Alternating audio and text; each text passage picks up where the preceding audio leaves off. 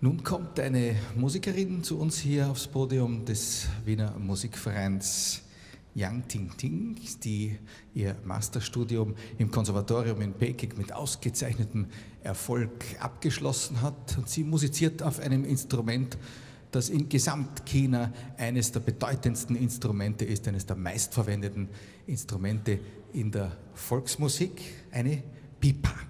Eine Art Laute würde man hierzulande vielleicht sagen, ein Instrument von enormem Tonumfang und auch von einer großen Breite der möglichen Ausdrucksskala.